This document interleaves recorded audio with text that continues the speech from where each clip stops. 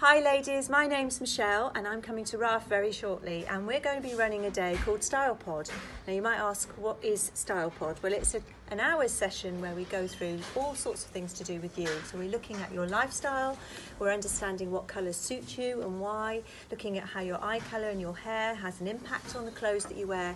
We're also looking at the body architecture and looking at mix and matching things together so you get a real nice idea of a capsule wardrobe. So less in many ways is more. So it's not how much you spend, but it's how many times you wear it. So you'll be learning quite a lot of key things to help you through into the next season.